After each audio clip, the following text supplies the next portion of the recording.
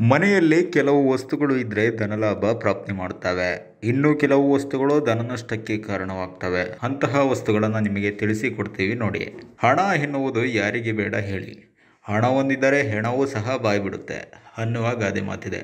ಹಾಗಾಗಿ ಜೀವನದಲ್ಲಿ ಏನಿಲ್ಲದಿದ್ದರೂ ಹಣವಿರಬೇಕು ಎನ್ನುತ್ತಾರೆ ಹಿರಿಯರು. ಕೆಲವರು ಎಷ್ಟೇ ಪರಿಶ್ರಮ ಪಟ್ಟರೂ ಹಣ ಸಂಪಾದನೆ ಮಾಡುವುದಕ್ಕೆ ಆಗುವುದಿಲ್ಲ. ವಾಸ್ತು ಪ್ರಕಾರ ಹೇಳುವುದಾದರೆ ಮನೆಯಲ್ಲಿ ನಾವು ಹೆಚ್ಚು ಗಮನ ಹರಿಸಬೇಕಾದ ಸಂಗತಿಗಳಿವೆ. ಕೆಲವು ಸಕಾರಾತ್ಮಕ ಶಕ್ತಿಯನ್ನು ಬೀರಿದರೆ ಇನ್ನೂ ಕೆಲವು ವಸ್ತುಗಳು ನಕಾರಾತ್ಮಕ ಶಕ್ತಿಯನ್ನು ಬೀರುತ್ತವೆ.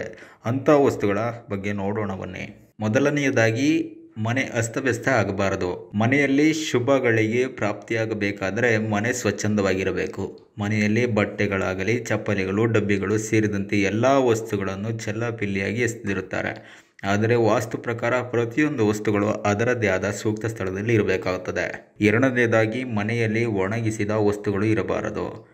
ಮನೆಯ ಸುತ್ತಮುತ್ತ ಒಣಗಿದ ಗಿಡಗಳು ಇರಬಾರದು. ಹಸಿರು ಸಸ್ಯಗಳಿದ್ದರೆ ಮನೆ ಪ್ರಶಾಂತವಾಗಿರುತ್ತದೆ. ಹಾಗಾಗಿ ಒಣಗಿದ ವಸ್ತುಗಳು ಮನೆಯ ಸುತ್ತಮುತ್ತ ಇರದಂತೆ ನೋಡಿಕೊಳ್ಳಿ. ಮೂರನೆಯದಾಗಿ, ಕಿಟಕಿ ಬಾಗಿಲಲ್ಲಿ ಧೂಳು ಇರಬಾರದು. ಕಿಟಕಿ ಬಾಗಿಲುಗಳು ಮನೆಯ ಧನಾತ್ಮಕ ಶಕ್ತಿಯನ್ನು ವೃದ್ಧಿಸುತ್ತವೆ. ಧೂಳು ನಿಲ್ಲದಂತೆ ಎಚ್ಚರ ವಹಿಸಬೇಕಾಗುತ್ತದೆ. ನಾಲ್ಕನೆಯದಾಗಿ ಹಳೆ ವಸ್ತುಗಳನ್ನು ಇಡಬೇಡಿ. ಮನೆಯಲ್ಲಿ ಬಹಳಷ್ಟು ನಿಷ್ಪ್ರಯೋಜಕ ವಸ್ತುಗಳು ಇರುತ್ತವೆ. ಆದರೆ ಅವುಗಳನ್ನು ಎಸೆಯಲು ಮನಸ್ಸೇ ಬರುವುದಿಲ್ಲ.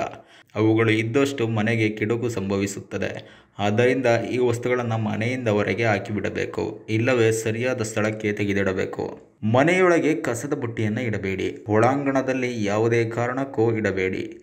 ಕಸದ ಬುಟ್ಟಿ ಪ್ರತ್ಯೇಕ ಸ್ಥಳವಿರಬೇಕು. ಅದರಲ್ಲೂ ಮುಖ್ಯ ಸ್ಥಳದಲ್ಲಿ ಕಸದ ಬುಟ್ಟಿಗಳನ್ನು ಇಡಲೇಬಾರದು. ಆದ್ದರಿಂದ ನೀವು ಇಷ್ಟು ವಸ್ತುಗಳ ಬಗ್ಗೆ ಜಾಗೃತರಾಗಿರಿ. ಮನೆಗೆ ಅದೃಷ್ಟ, ನೆಮ್ಮದಿ, ಶಾಂತಿ ಲಭಿಸಬೇಕಾದರೆ ನಾವು ಹೇಳಿದ ಇಷ್ಟು ನಿಯಮಗಳನ್ನು ಪಾಲಿಸಿ.